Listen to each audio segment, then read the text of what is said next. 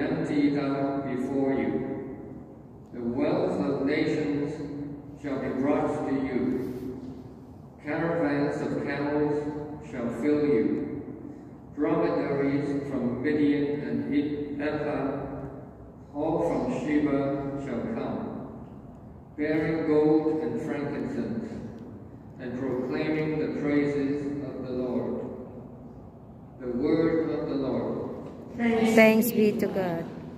Responsorial Psalm. Lord, every nation on earth will adore you. Lord, every nation on earth will adore you. O God, with your judgment endow the king, and with your justice the king's son. He shall govern your people with justice, and your afflicted ones with judgment. Lord, every nation on earth will adore you. Justice shall flower in his days, and profound peace till the moon be no more. May he rule from sea to sea, and from the river to the ends of the earth. Lord, every nation on earth. The kings of Tarshish and the isle shall offer gifts.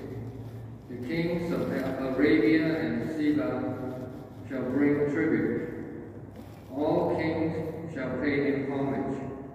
All nations shall serve him. Lord, every nation on earth will adore you. For he shall rescue the poor when he cries out, and the afflicted when he has no one to help him. He shall have pity for the lowly and the poor. The lives of the poor he shall save. Lord, every nation on earth will adore you.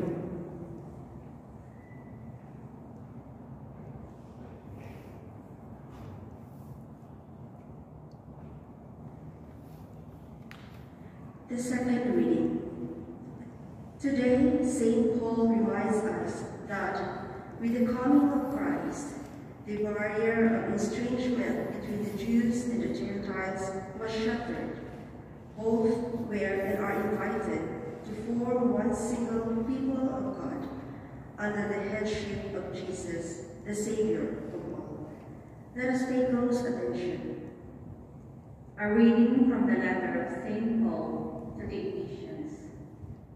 Brothers and sisters, you have heard of the stewardship of God's grace that was given to me for your benefit.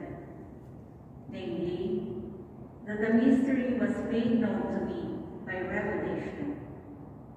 It was not made known to people in other generations, as it has now been through his holy apostles and prophets by the Spirit, that the Gentiles are co-heirs, members of the same body, and co-partners in the promise in Christ Jesus through the gospel. The word of the Lord. Thanks be to God.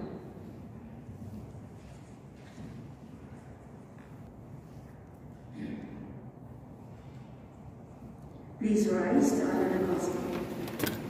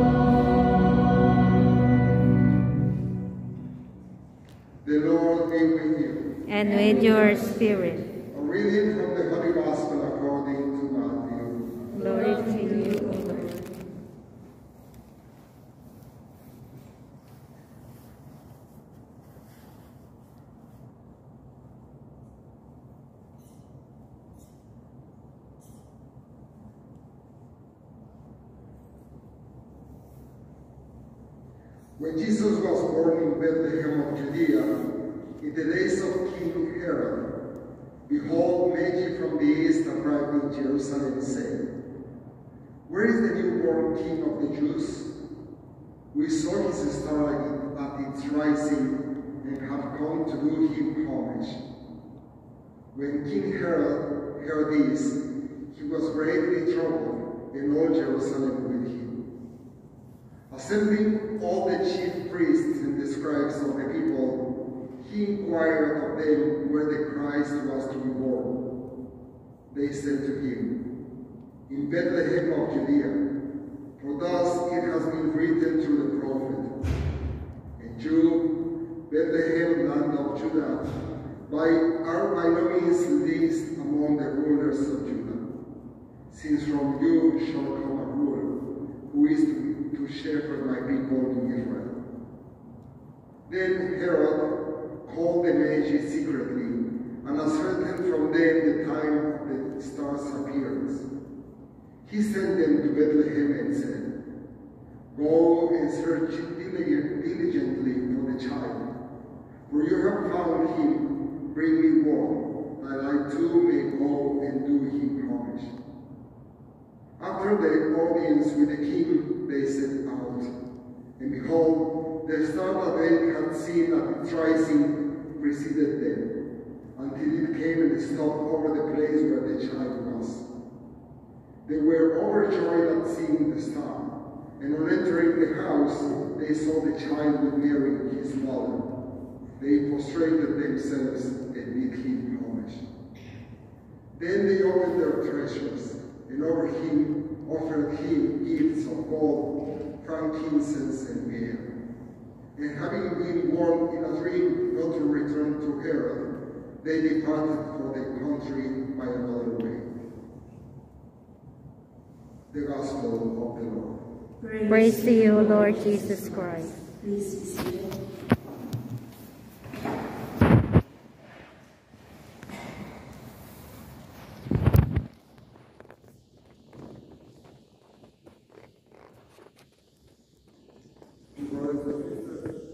The first, the first time I came to Hong Kong was in 1987.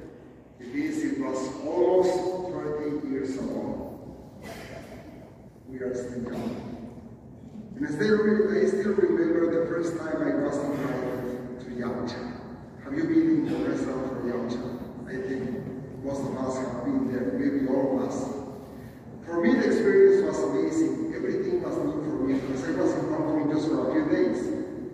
The restaurant was crowded, and then the ladies yelling the names of the dim sum, not anymore. At that time, they were with the cars just saying what the dim sums they had.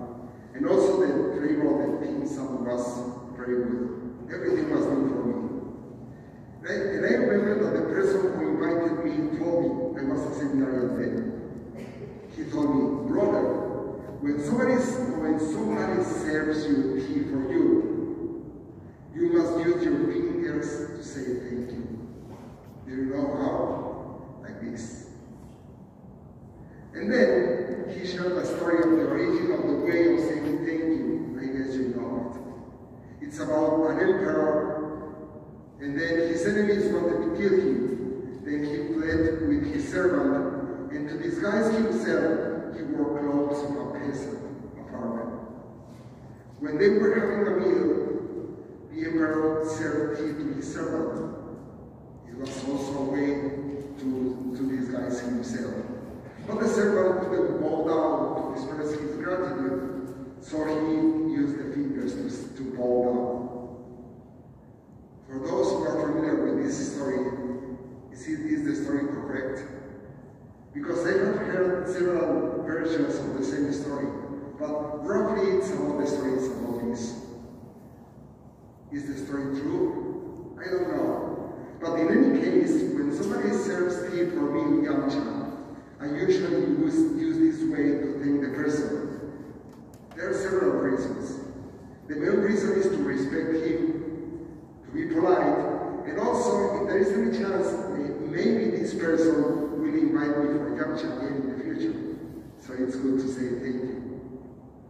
Actually, there are stories in different parts of the world with a similar situation.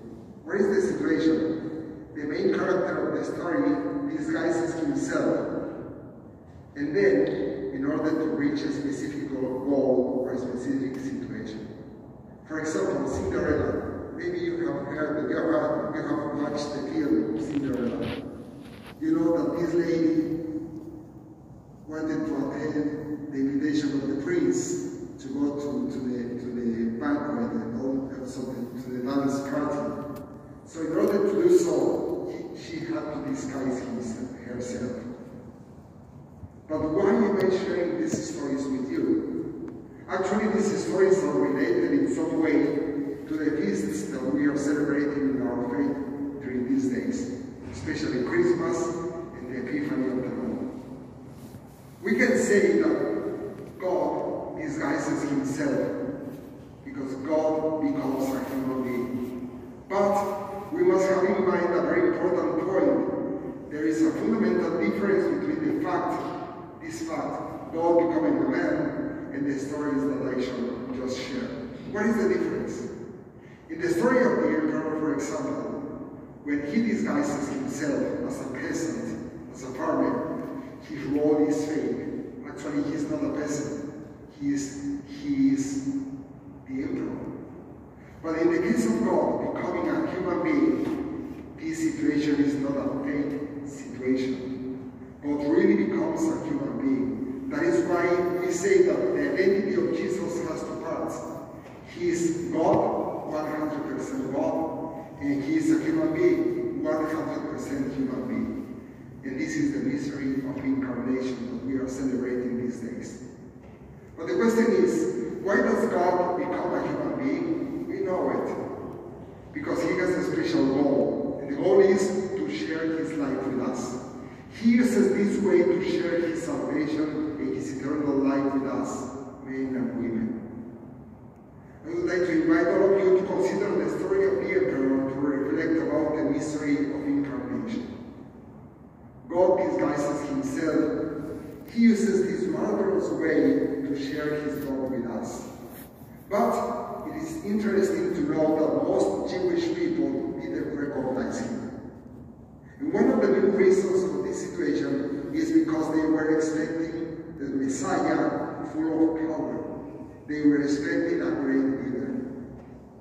However, other people were able to recognize the Messiah in this child Jesus.